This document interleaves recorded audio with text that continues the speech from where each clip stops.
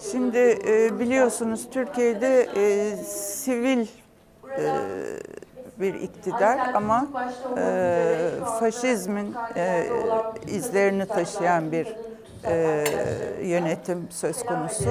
Bunların e, yansımalarından tabii cezaevleri de payını alıyor.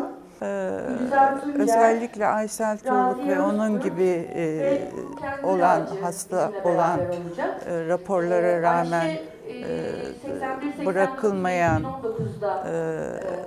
e, insanlar bu e, süreci en ağır şekilde e, yaşıyorlar ve bedel öde, ödüyorlar, bir çeşit bedel ödüyorlar. Ödedikleri bedel nedir? Ee, insan haklarına, özgürlüğe, e, halkların kardeşliğine, özgürlüğüne e, inanan e, insanlar cezaevindeler. Hemen hukuk dışı bir olay bu. Zaten Türkiye'de hukuk ne durumda? Ee, Yerler altında, ayaklar altında biliyorsunuz. Bu da tamamen hukuksuzluğun bir ifadesi.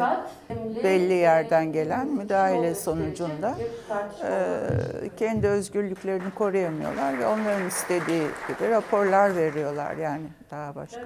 Bilimi de alet ediyorlar, hukuku da alet ediyorlar, her türlü şeyi kendi çıkarlarına kendi görüşlerine e, alet ediyorlar biliyorsunuz. Bütün e, insanların korkularından, endişelerinden sıyrılıp bir araya gelmesi. Çünkü bugüne kadar korku politikaları geliştirildi. İnsanlar en ufak bir faaliyette, e, eylemde bulundukları zaman üstlerine coplarla, gaz bombalarıyla e, gidiyorlar, tutuklanıyorlar, çeşitli e, baskılara maruz kalıyorlar, dövülüyorlar.